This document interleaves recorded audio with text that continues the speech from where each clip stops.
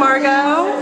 How are you? Hi, Lori. Welcome to Betz Gallery. What's the exhibition tonight? Uh, the exhibition is Diverse Creations.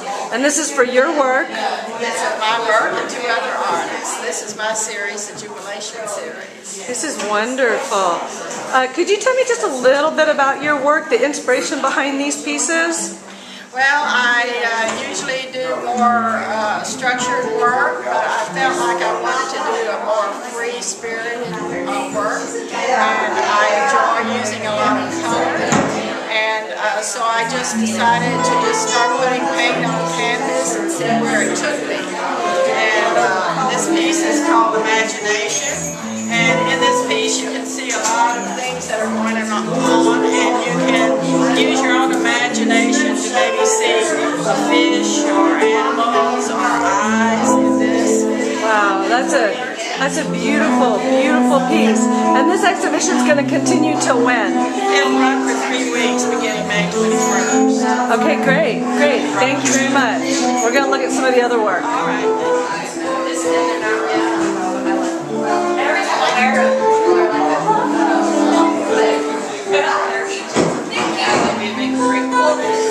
my series And there's refreshments in the back room. Okay.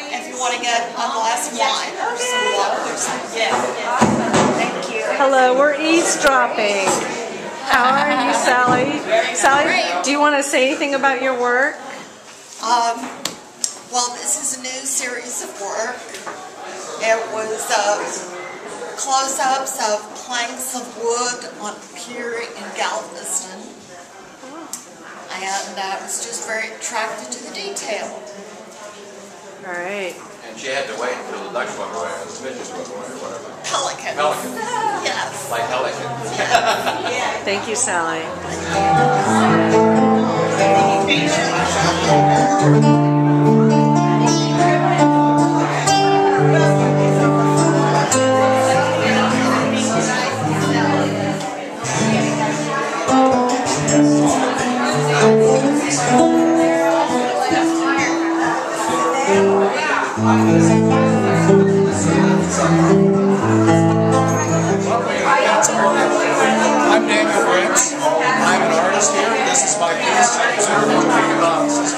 Observatory. It's Griffith Observatory in Los Angeles. And uh, I was really struck by Wow. the architecture, which is kind of a deco architecture.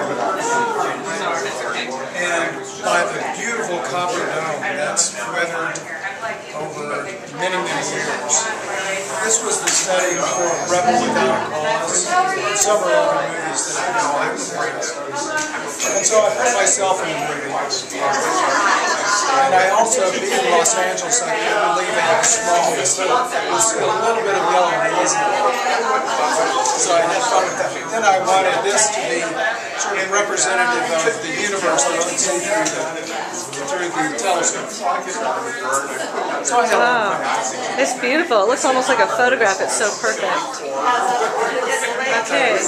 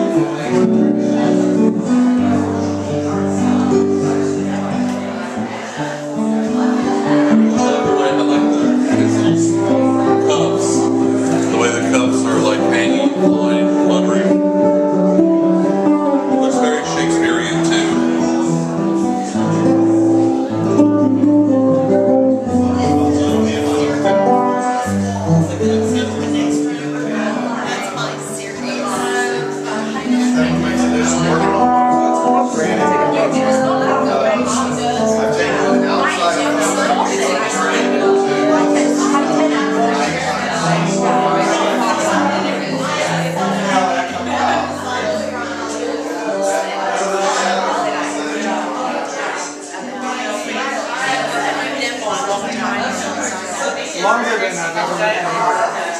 Nine telling years now. I've never lived anywhere now. Lock the hallway, that'll